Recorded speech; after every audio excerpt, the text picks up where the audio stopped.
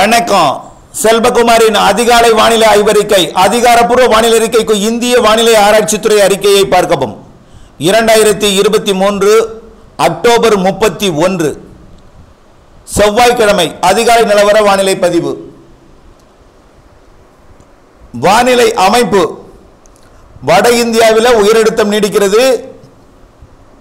உயரழுத்தத்திலிருந்து சுழன்று வரக்கூடிய காற்று ஒடிசா ஆந்திர பிரதேசம் கரையோரம் வழியாக தமிழ்நாட்டின் வடகடலோர மாவட்டங்கள் வழியாக கர்நாடக எல்லையோர மாவட்டங்கள் வழியாக அரபிக்கடலை நோக்கி திசை மாறி சுழண்டு கொண்டிருக்கிறது. அதாவது அதுக்கு அதோட வட்ட வடிவத்தில் சுழண்டு கொண்டிருக்கிறது. அது நம்முடைய வடகடலோரத்திலையும் ஆந்திர கர்நாடக எல்லையோரத்திலையும் டச் ஆகிட்டு இருக்கு அந்த வெளி சுற்று. ஹை ப்ரெஷர் காற்று குளிர்காற்று. அப்போ சென்னையில் கண்டினியூவாக என்ன நுழைஞ்சிக்கிட்டு இருக்கு? குளிர்காற்று நுழைஞ்சிக்கிட்டே இருக்கு. அதை முதல்ல மனசில் பதிச்சிங்க. சென்னை மட்டும் இல்லைங்க சென்னைன்னு எதுக்கு சொல்கிறேன்னா வடக்கே திருவள்ளூர் சென்னை செங்கல்பட்டு காஞ்சிபுரம் திருப்பத்தூர் வேலூர் ராணிப்பேட்டை திருவண்ணாமலை கள்ளக்குறிச்சி விழுப்புரம் புதுச்சேரிக்கு வடக்கே. அதே போல் கிருஷ்ணகிரி தருமபுரி அப்படியே பெங்களூரு மங்களூரு மைசூரு அப்படியே சித்தூர் கோ கோலாறு தங்கவயல் அப்படியே பார்த்தீங்கன்னா குப்பம் நகரி அப்படியே நெல்லூர் எல்லாமே ஆந்திர பிரதேசத்தை ஒட்டிய கர்நாடகத்தை ஒட்டிய தமிழ்நாட்டின் மாவட்டங்களும் ஆந்திர கர்நாடக பகுதிகளுக்குள்ளேயும் குளிர்காற்று நுழைஞ்சி வ- சுழண்டு கொண்டிருக்கு. வங்கக்கடல்ல இருந்து கிழக்கு காற்று வந்துட்டு இருக்கு கிழக்கு காற்று என்பது தென்சின கடற்பகுதியிலிருந்து தாய்லாந்து வளைகுடா வழியாக. அது கடற்பகுதியிலையும் வரும். அங்கிருந்து அப்படியே கடல் நீராவி எடுத்துகிட்டு வந்து தாய்லாந்தில் போய் இழிஞ்சிட்டு மலேசியாவில் மலேசியாவோட வடக்கு பகுதி இன்னும் தெற்கெல்லாம் போயில. தாய்லாந்துலேயும் மியான்மர்லேயும் பொழிஞ்சிட்டு அப்படியே அது காற்றாக இங்கே வரும். அப்புறம் மலேசியா அது அந்தமான் பகுதியில் நிலப்பகுதியில் கொஞ்சம் பொழிஞ்சிட்டு அப்புறம் வரும். அப்புறம் வரும்பொழுது அந்த நீராவியை கொண்டு நம்முடைய தமிழ்நாட்டின் தரைப்பகுதியில் ஏறும் இடம். ஒட்டுமொத்த எல்லா கடலோரமும். இதில் அந்தமானுக்கும் இலங்கைக்கும் இடைப்பட்ட கடற்பகுதியில் தெற்கு மத்திய வங்கக்கடலில் ஒரு காற்று சுழற்சி உருவாகியிருக்கு அதில் ஆண்டி கிளாக் வைஸில் ஒரு சுழற்சி இருக்கிறது. தென் தமிழ்நாட்டை ஒட்டி குமரிமுனையில் கூட நிலநடுக்கோட்டு இந்திய பெருங்கடல் காற்று நுழையுது. இந்த குமரிமுனைக்கு வடக்கே இருக்கக்கூடிய அதாவது தூத்துக்குடி மாவட்டம் முதல் மயிலாடுதுறை மாவட்டம் வரைக்கும் உள்ள இந்த கடற்பகுதியில் இந்த கிழக்கிலிருந்து வரக்கூடிய காற்று அந்த நீராவியை அளவாக கொண்டு வந்து ஏற்றுகிறது. அளவாக கொண்டு வந்து ஏற்றுகிறது. வடக்கே சற்று கூடுதலாக ஏற்றுகிறது. எங்கே? மயிலாடுதுறைக்கு வடக்கே கடலூர்லேருந்து சென்னை வரைக்கும். அதுலேயே கடலூரை விட புதுச்சேரிக்கு கொஞ்சம் கூடுதல் அளவாகவும் புதுச்சேரியை விட செங்கல்பட்டு மாவட்டத்துக்கு கொஞ்சம் கூ- விழுப்புரத்துக்கு கொஞ்சம் கூடுதலாகவும் விழுப்புரத்தை விட செங்கல்பட்டு மாவட்டத்துக்கு கூடுதலாகவும் அதை விட சென்னை திருவள்ளூருக்கு கூடுதலாகவும் ஏற்றுகிறது. இந்த இரு காற்று சந்திப்பு எங்கே ஏற்படுகிறதோ அங்கே தான் மழை பொழியும். அதாவது வருவது குளிர் அலை. வருவது வடக்கிருந்து வருவது குளிர் அலை. கிழக்கிலிருந்து வருவது வெப்ப நீராவி அளவான வெப்ப நீராவி கொஞ்சம் தண்ணியை கொடுக்கக்கூடிய வெப்ப நீராவி கொஞ்சம் நீராவியை கொண்டு வருகிறது. இது இரு காற்று இணைவு என்பது வடகடலோரத்தில் ஏற்பட்டு நேற்றுக்கு சென்னையெல்லாம் மழை ஆங்காங்கே ஆங்காங்கே மழை. அப்போ அந்த காற்றுல வரக்கூடிய ஈராவி நீரப்ப ஈரப்பதம் தீந்து போனோன்னு என்னாகும்? அந்த காற்று ஒரே வந்துக்கிட்டே இருக்காது. ஒரே மாதிரி இந்த திருவள்ளூர் மாவட்டம் பழுவேற்காட்டிலேயே வந்து ஏற்றிக்கிட்டு இருக்காது. கொஞ்ச நேரம் பழுவேற்காட்டில் வந்து ஏறும். அப்புறம் அது கட்டாயிட்டு கொஞ்சம் நெல்லூரில் போவோம். அப்புறம் அது கட்டாயிட்டு கொஞ்சம் வந்து காசிமேடு அப்புறம் இப்படியே எண்ணூர் இந்த பக்கம் வந்து ஏறும். அப்புறம் அது கட்டாயிட்டு அதில் திரு செங்கல்பட்டு மாவட்டத்தில் வந்து ஏற்றும் சென்னையில் ஏற்றும் இப்படி மாற்றி மாற்றி அந்த காற்றோட அமைப்பு அமைந்துகிட்டே இருக்கும். அப்போ இரு காற்று சந்திப்பு எங்கே ஏற்படுத்துகிறதோ அங்கே அந்த மழைப்பொழிவை கொடுக்கும். கொடுக்கும். இது சர்வ சாதாரணமாகவே இரவு பகல் எந்த வேணாலும் கொடுக்கும். ஆனால் இரவு நேரங்களில் குளிர் மிகுதியாக இருக்கிற காரணத்தினால குளிர் சதவீதம் கூடுற காரணத்தினால மழை மேகங்கள் மட்டும் உற்பத்தியாகும் மூடு பணியாக இருக்கும். அப்படியே ஃபோக் அப்படியே ஒரே க- மூடு பணியாக இருக்கும் மொத்தம் கிருஷ்ணகிரி வரைக்கும்.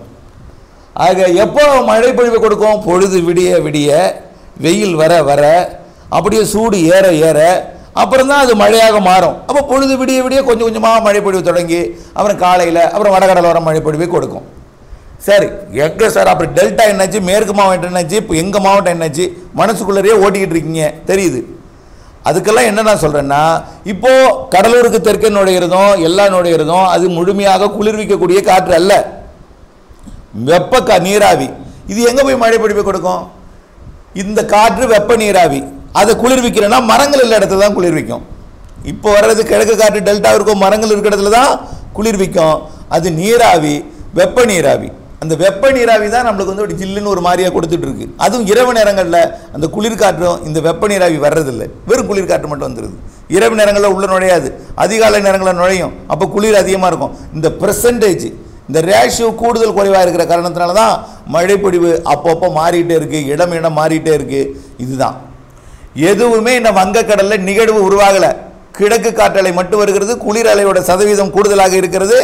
இருந்த போதிலும் சில நேரங்களில் குளிர் அலை மழைப்பொழிவிற்கு சாதகமாக அமைகிறது. சில நேரங்களில் குளிர் அலை மழைப்பொழிவிற்கு சாதகம் இல்லாமல் பனிப்பொழிவை ஏற்படுத்தும் விதமாக இருக்கிறது. அப்படி இருந்தும் அந்த சாதகம் நேற்றைக்கு ஈரோடு மாவட்டம் வடக்கு பகுதி வரைக்கும் நல்ல மழைப்பொழிவை கொடுத்திருக்கிறது. வட உள் மாவட்டங்கள் வடகடலோரெல்லாம். அதுலேயும் ஒதுக்கி இருக்கு. அதுலேயும் ஆங்காங்கே ஒதுக்கி இருக்கு. இல்லை இல்லை அதுக்குள்ளேயும் வேதனைப்பட்டுட்டு இருக்காங்க. இருக்குது அதே போல் தென் மாவட்டங்களே ஆங்காங்கே மழை எல்லா மாவட்டங்களுக்கு ஆங்காங்கே மழை. அது என்ன சொல்லலாம்? ஒவ்வொரு இடத்துலையும் செட்டிங் மாறி மாறி அமையும். செட்டிங் ஏன்னா இயற்கை அமைப்பு அது மாதிரி. ஒரு ஒருத்தர் ஒரு மலையிலேயே உயரம் குட்டை. ஒரு இடத்துல அரபிக்கடல் காற்று வரும். ஒரு இடத்துல அரபிக்கடல் காற்று வராது. கண்ணுக்கு தெரியாமல் மேலடுக்கில் வரும். ஒவ்வொரு இடத்துலைங்க நல்லா புரிஞ்சுக்குங்க. இப்போ தரையில் தெற்கிருந்து காற்று வீசிட்டு இருக்கு இல்லை மேற்கிருந்து காற்று வீசிட்டுனா அதே போல் உச்சி வரைக்கும் வீசாது. தலைக்கு மேலே ஒரு மாதிரி இருக்கும். அந்த தலைக்கு மேலே ஒரு மீட்டரில் வேற ஒரு வேற ஒரு வேகத்தில் இருக்கும் வேற ஒரு திசையில் இருக்கும். அதுலேருந்து ஒரு மீட்டரில் வேற ஒரு திசையில் வேற ஒரு வேகத்தில் இருக்கும். அதுக்கு மேலே போக போக வெவ்வேறு திசையில் வெவ்வேறு வேகத்தில் இருக்கும். ஆகவே அடுக்குலையும் வெவ்வேறு விதமான காற்றின் போக்குவரத்து வேக மாறுபாடு. கடல்லேருந்து வருவதிலையும் நீராவி. அதுவும் கடல்லேருந்து வரக்கூடிய காற்று கடலை தொட்டுட்டு வரணும். கடல் நீர்பரப்பு தொட்டு வந்தால் தான் நீராவி எடுத்துகிட்டு வரும். அதுவும் நிலநடுக்கோட்டு இந்திய பெருங்கடல்ல. அதாவது நம்முடைய இலங்கைக்கு தெற்கே இருக்கக்கூடிய வெப்பமான பகுதியிலிருந்து நீ காற்று வந்து ஏறினா தான் அதிக மழை பொழிவை தரும். அதுவும் ஏற்ற தான் போகுது. தற்பொழுது உருவாகிட்டு இருக்கக்கூடிய இலங்கைக்கும் அந்தமானுக்கும் இடைப்பட்ட பகுதியில் உருவாகி இருக்கக்கூடிய காற்றழுத்த தாழ்வு நிலை இப்பொழுது உருவாகிட்டு இருக்க காற்று சுழற்சியா? அது நெருங்கி வரக்கூடிய ஒன்றாம் தேதிக்கு மேலே ரெண்டாம் தேதிக்கு மேலே வந்து மூணாம் தேதி நாலாம் தேதி அஞ்சாம் தேதி எல்லாம் வர வர படிப்படி படிப்படியாக நெருங்கி வந்து மழைப்பொழிவை அதிகரிக்க செய்யும். அதுக்காக தீபாவளிக்கு முன்பு கொட்டி தீர்த்துறாது அதுவும் அளவான மழைப்பொழிவை கொடுக்கும். ஆகவே பெரிய ஒரு வலுவான நிகழ்வு இல்லை. கடல் நீராவியை உறிஞ்சி ஊதி தொடர்ந்து உறிஞ்சி ஊதிக்கிட்டே இருக்கும்.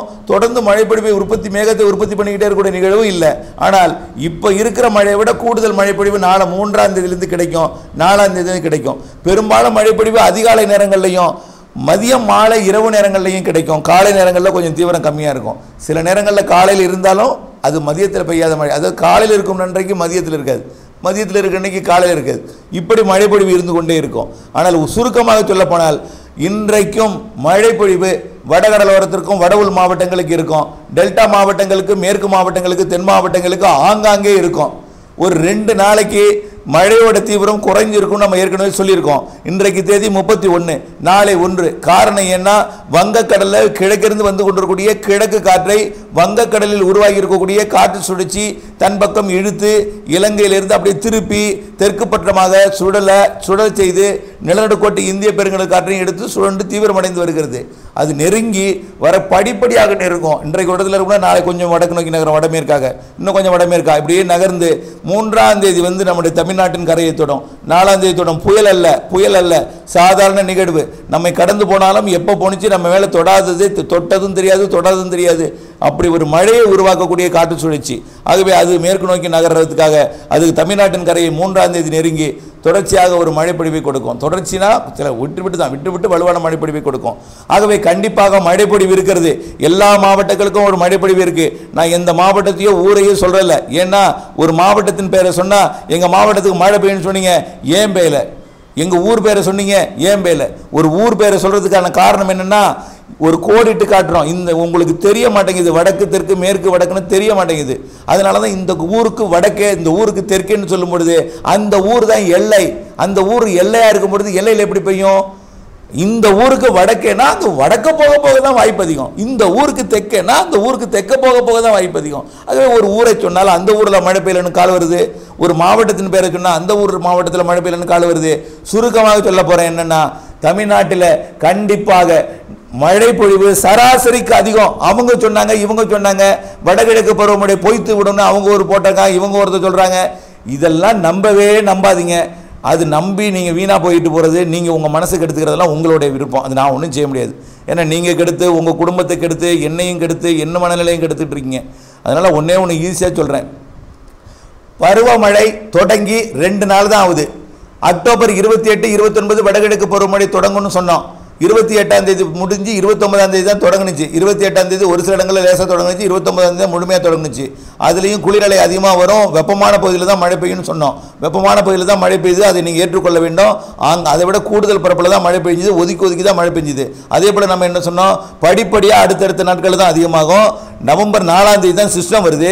அதில் இருந்து தான் தீவிரமடையும் நவம்பர் நாலு சிஸ்டம் தமிழ்நாடு கடந்து அரபிக்கடல் போகும். அது ஏழாம் தேதி அடுத்த ஒரு சிஸ்டம் வரும். அந்த பக்கம் இந்த பக்கம் ஒரு சிஸ்டம் இருக்கும். இப்படி மழைப்பொழிவு கொடுத்து கொண்டே இருக்கும். பெரும்பாலும் மதிய மாலையில இருக்கும். கொடையெல்லாம் வச்சுங்க. காலையில் இருக்காது மழை. எல்லாம் எல்லாம் சொன்னோம். எல்லாம் எல்லாம் சொன்னோம். எல்லாம் எதுக்குன்னா முன்னேற்பாடு ப்ரிப்பரேஷன் தான். ஆனால் அதே இது நீங்கள் இன்றைக்கே பெய்யணும் அப்படின்னு நினைக்கிறதும் தவறு. ஒதுக்கி ஒதுக்கி தான் பெய்யும். ஆகவே கண்டிப்பாக மேற்கு மாவட்டங்கள் தென் மாவட்டங்கள் எல்லா மாவட்டங்களுக்கு பெய்யும் ஒட்டுமொத்த சராசரியை பார்க்கும் பொழுது சராசரிக்கு மிகுதி என்ற அளவில் தான் மழைப்பொழிவு இருக்கும் என்பதையும் அனைத்து தென் மேற்கு தொடர்ச்சி அணைகளையும் நிரப்பும் என்பதையும் மேட்டூர் மட்டும் ஓரளவிற்கு கணிசமான அளவை எட்டிவிட்டு செல்லும் என்றும் இதுக்கெல்லாம் தனியாக அறிக்கை நிறைய போட்டிருக்கேன் என்பதையும் ஆகவே பருவமழை தொடங்கி இன்றுடன் ரெண்டு நாள் தான் ஆகுது.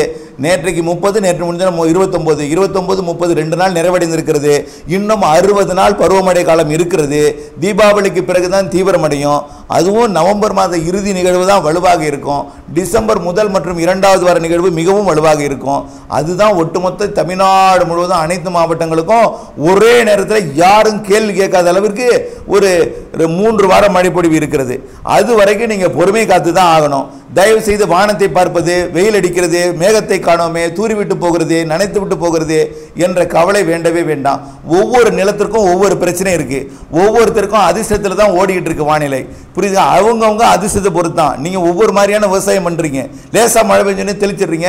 திடீர்னு என்ன செஞ்சு அடுத்த மழையை எதிர்பார்த்துட்றீங்க கைவச நீர் வச்சா கவலை இல்லை. கைவச நீர் சேமித்து வைத்திருந்தால் கவலை எல்லாம் விவசாயம் செய்யலைன்னா அது செய்ய மாட்டீங்க. ஆகவே கைவசம் நீர் சேமிக்கிறதும் இல்லை. ஒரு மழை பெஞ்சோன்னு தெளிக்கிறது அப்புறம் கருகுதுங்கிறது. இது இது வந்து பருவமழை நிகழ்வுகள் உருவானால் மட்டும்தான் தொடர்ச்சியான மழை இருக்கும். அந்த நிகழ்வும் வட மாவட்டங்களில் போனுச்சுன்னா தென் மாவட்டங்களுக்கு இருக்காது. எந்த மாவட்டம் வழியாக போகுதோ அந்த மாவட்டம் தான் இருக்கும். அதோட பரப்பு அதோட தீவிரத்தன்மையை பொறுத்து தான் அதோட எந்த அளவுக்கு ரெக்கை விரியுமோ அந்த அளவிற்கு தமிழ்நாட்டில் அனைத்து மாவட்டங்களுக்கும் மழை பிடிப்பை கொடுக்கும். அப்படிப்பட்ட நிகழ்வெல்லாம் டி- டிசம்பர் இறுதியிலையும் டிசம்பர் முதல் ரெண்டு வாரத்திலையும் இருக்கு.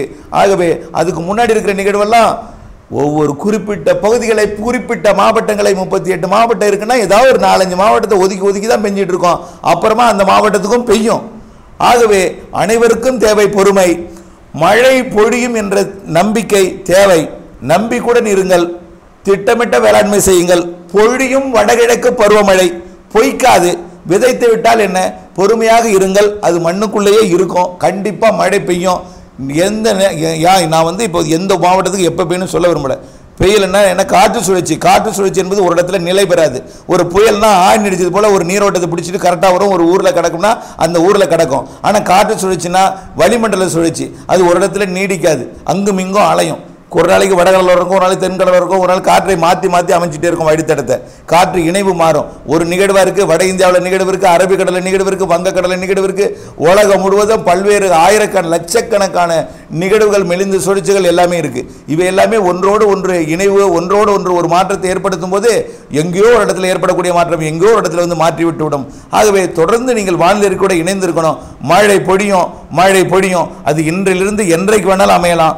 ஆகவே ஒவ்வொரு இடத்துக்கும் வெவ்வேறு நேரங்கள் இருக்கிறது. அது இன்றைக்கு பெரும்பாலும் வடகடலோர வடவுள் மாவட்டங்கள் டெல்டா மாவட்டங்களுக்கும் தென் மாவட்டங்களுக்கும் மேற்கு மாவட்டங்களுக்கும் மதிய மாலை வாய்ப்பு இருக்கிறது. வரக்கூடிய நாலாம் தேதியிலிருந்து கூடுதல் பரப்பள வாய்ப்பு. அந்த நிகழ்வு எங்கே வருகிறதோ அந்த நிகழ்வுக்கு அருகேயே அதிக மழைப்பொழிவு இருக்கும். அடுத்தடுத்த நிகழ்வுகள் இருக்கிறது. ஆகவே தயவு செய்து கொஞ்சம் பொறுமையாக இருங்க. பருவமழை பொழியும் பொய்க்காது. பருவமழை பொழியும் பொய்க்காது. பொறுமை மிக மிக அவசியம் என்று இருகரம் கூப்பி பணிவோடு கேட்டுக்கொள்கிறேன். நன்றி.